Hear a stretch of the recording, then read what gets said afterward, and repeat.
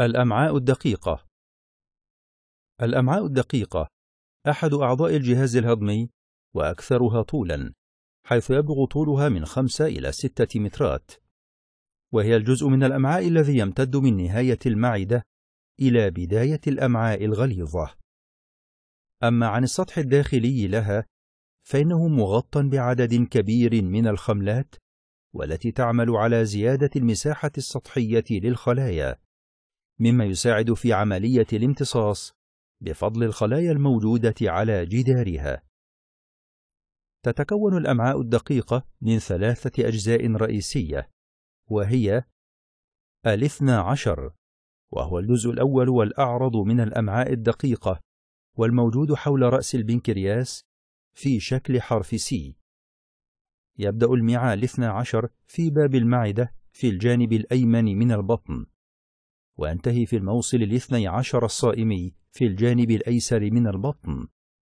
ويعتبر هذا الجزء هو الأكثر أهمية بين أجزاء الأمعاء الدقيقة نظرا لحدوث الهضم الكيميائي فيه. المع الصائم وهو الجزء الثاني من الأمعاء الدقيقة والذي يشكل خمسيها. يقع في مركز ويسار البطن ليصل بين المعى الاثني عشر والمعى اللفائفي.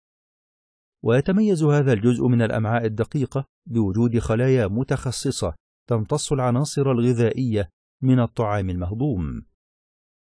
المعى اللفائفي وهو الجزء الثالث والأخير من الأمعاء الدقيقة ويشكل حوالي ثلاثة أخماسها. يقع في الربع الأسفل من البطن ليصل بين المعى الصائم والمعى الأعور بداية الأمعاء الغليظة.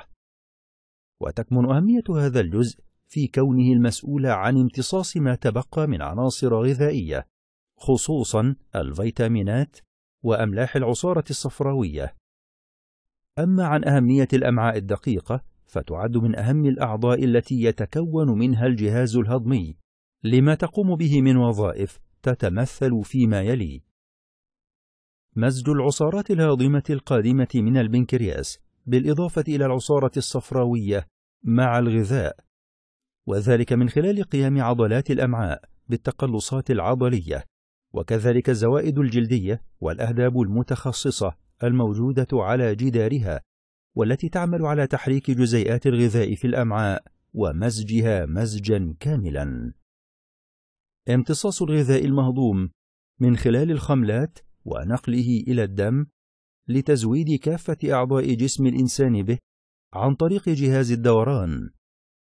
ويساعدها على ذلك وجود الانحناءات التي تزيد من مساحة الأمعاء فضلا عن طولها النسبي. هذا بالإضافة إلى معادلة درجة حموضة الطعام بعدما تعرض له من عصارة هاضمة شديدة الحموضة أثناء وجوده داخل المعدة. وذلك من إنزيمات خاصة موجودة في الأمعاء تعمل على معادلة الرقم الهيدروجيني للطعام المهضوم.